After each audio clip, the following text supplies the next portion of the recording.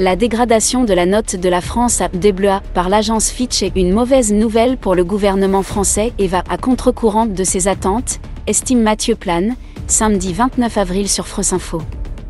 Selon l'économiste et directeur adjoint du département analyse et prévision de l'OFS, l'exécutif espérait au contraire montrer au marché et à l'ensemble des investisseurs qu'il avait une crédibilité à maîtriser les équilibres budgétaires à long terme, notamment grâce à la réforme des retraites. Mathieu Plane, elle va à contre-courant de ce que le gouvernement pouvait attendre par rapport aux mesures qui ont été prises. Notamment dans la présentation de ce qu'on appelle le programme de stabilité, avec une volonté assez nette et affichée de ramener le déficit public en dessous des 3%. Ce programme faisait d'ailleurs suite à la réforme des retraites, qui était vue comme une réforme budgétaire avant tout le gouvernement a mis en place la réforme des retraites justement pour montrer au marché et à l'ensemble des investisseurs qu'il avait une crédibilité à maîtriser les équilibres budgétaires à long terme. Cette prise en compte des mouvements sociaux est-elle habituelle pour une agence de notation économique? C'est vrai que la prise en compte du climat social est quelque chose d'assez nouveau.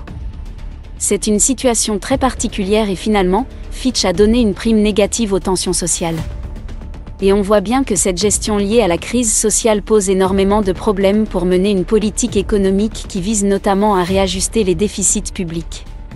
Sur le court terme, je ne crois pas que ça change grand-chose. Heureusement, les agences de notation ne font pas non plus la pluie et le beau temps en permanence.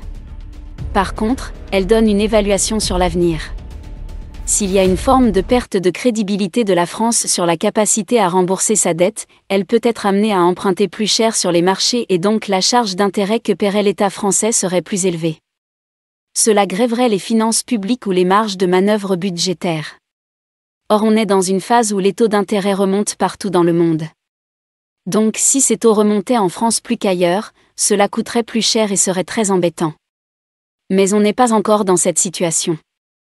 Par contre, c'est une mauvaise orientation, et c'est une mauvaise nouvelle pour le gouvernement français et globalement, pour la France.